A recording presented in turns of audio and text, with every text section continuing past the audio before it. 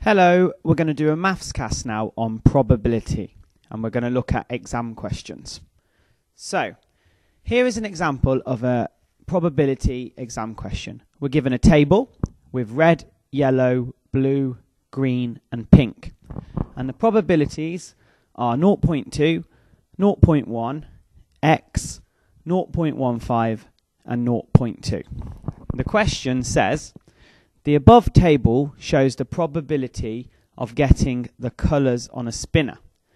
Find x. So, the first part of the question, we need to know one thing. We need to know that the probabilities will always add up to 1.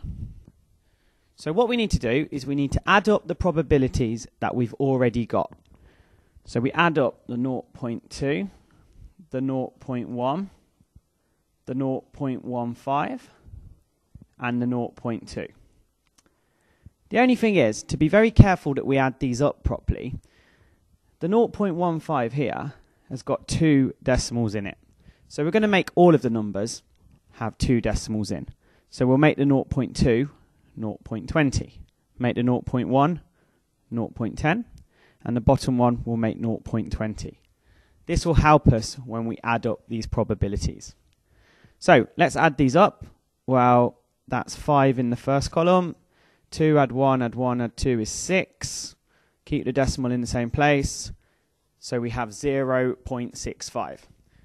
So when we add up all of the probabilities, we get 0.65. So we need to know how much more we need to get 1, because probabilities will add up to 1.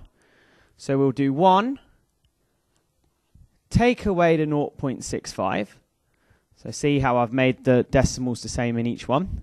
And we'll work that out. So we need to borrow from this one, makes it a 0, makes that a 10. Borrow from the 10, makes it a 9, makes this a 10. So 10 take away 5 is 5. 9 take away 6 is 3.